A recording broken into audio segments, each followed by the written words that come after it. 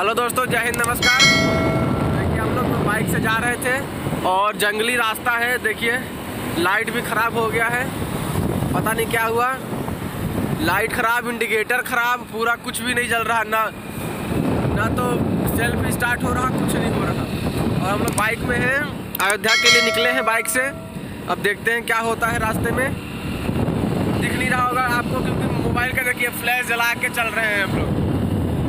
Mobile का flash जला के दूर दूर तक जंगल है पूरा कुछ दिख भी नहीं रहा। और ठंडी भी बहुत ज़्यादा है। मॉर्निंग का टाइम है।